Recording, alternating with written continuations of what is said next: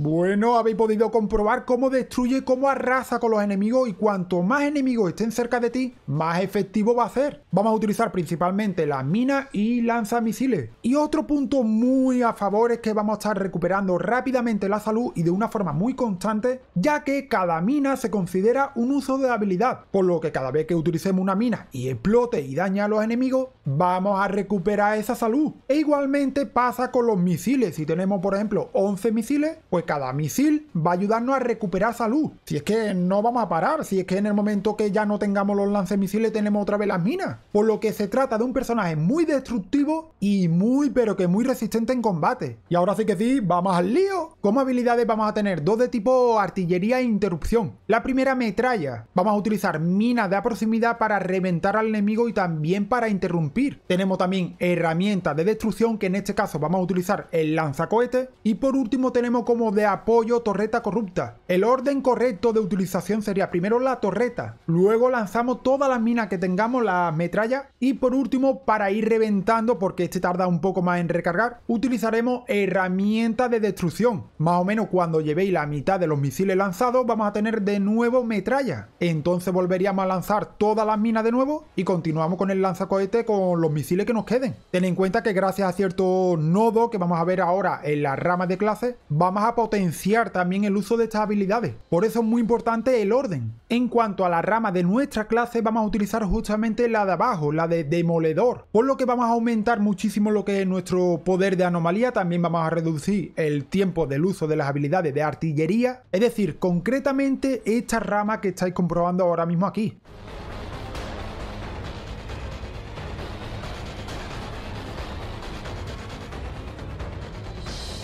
Como nodo principal tenemos antena de adrenalina para aumentar el poder de anomalía, no solamente para ti, sino también para tus aliados, pues un 10% durante 30 segundos. Cuando utilicemos, por ejemplo, la torreta, tenemos absorción total para aumentar la succión de vida de habilidad, un 15% al utilizar estas habilidades. También tenemos unidad blindada para aumentar la armadura cuando utilicemos la habilidad de artillería, ya sea la de metralla, por ejemplo, o la de herramienta de destrucción. Juego en equipo para reducir el daño que nos inflige pues, los enemigos de élite tanto para ti como para tus aliados. Y por último, vínculo tecnológico. Esto es muy importante porque aumenta la anomalía un 50% cuando utilizamos artillería, es decir, pues la metralla o herramienta de destrucción. Y luego para finalizar tenemos por un lado limpieza total. Los enemigos con menos del 30% de salud pues reciben un 20% más de daño. Un poquito de salud y también un poquito de aumento de ese porcentaje de armadura. Súper importante que aumentemos un poco la salud y la armadura sobre todo. De esa forma va a resistir muchísimo más. Y os comento que cada vez que utilicemos una mina, y son varias, o incluso utilicemos el lanzamisil, pues cada cohete va a ayudar a recuperar la salud, por lo que estaremos constantemente recuperando la salud y también bien protegido por la armadura. Y ya solamente nos queda la parte de arma y armadura. Y como siempre vamos a comenzar por la parte de las armas, en este caso utilizo escudo letal y la Nemoi. En ambos vamos a utilizar tanto lo que es el modificador de fortaleza